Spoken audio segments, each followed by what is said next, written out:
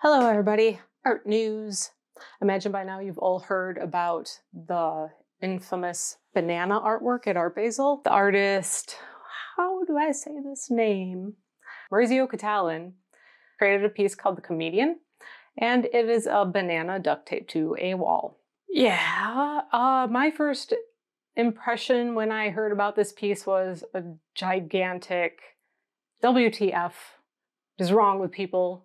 Is this like some crazy pretentious thing? But I kind of looked into it and I've kind of come to the conclusion that it's down low brilliant.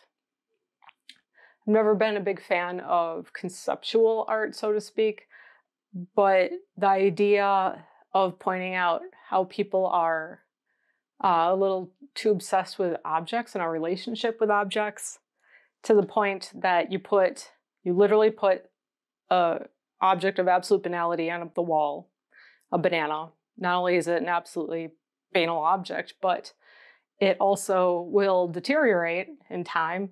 And not only that, but they didn't even like hang it on the wall or mount it on the wall. They just stuck it on with a piece of duct tape to really drive that home.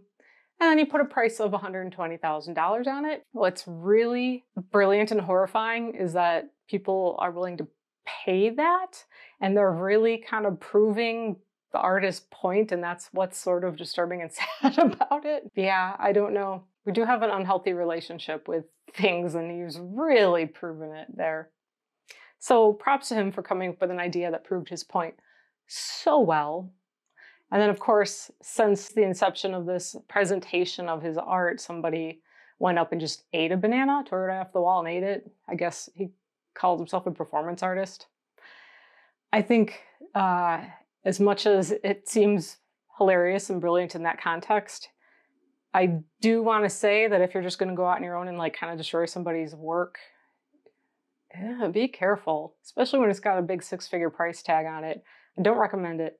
Maybe if you actually know the artist and you've worked something out with him or the gallery beforehand, or you are the artist yourself, more power to you. Uh, straight up Banksy style, but yeah, maybe don't actually be the one to go do that. Maurizio Cattelan, Italian artist. Ah, I really just destroying your name.